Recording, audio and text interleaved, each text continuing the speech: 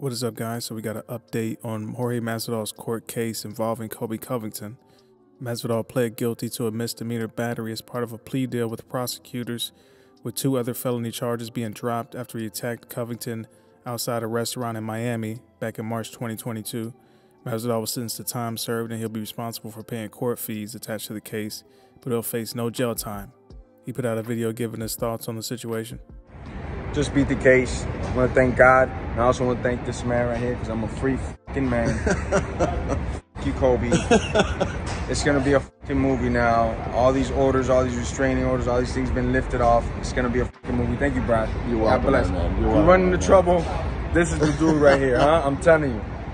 Undefeated in this fucking courtroom. There was a lot of beef leading up to their fight, and uh, Jorge Masvidal caught him at a steakhouse and chipped his tooth.